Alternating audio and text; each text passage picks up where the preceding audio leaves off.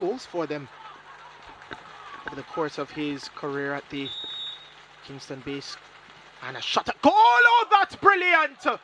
Damion Binns with the equalizer. That was a peach of a goal. And there it is.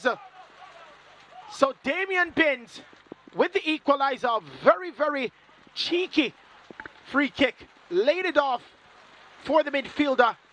And look at this, bang with the left foot. And ah. J.D. White couldn't go over to that space in time, and it's 1-1 between Waterhouse and Cavalier. Who's that who actually moved? An excellent free kick by Binns. We saw him